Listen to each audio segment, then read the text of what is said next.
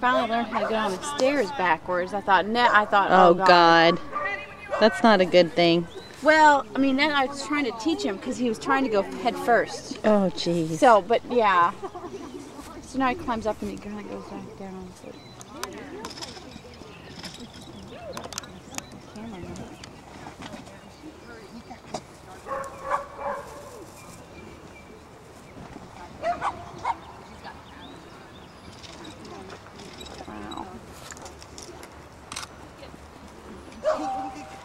Go weave. Woo! Ready, ready, ready, ready. Go weave. Weave, weave, weave, weave, weave, weave, weave, weave, weave.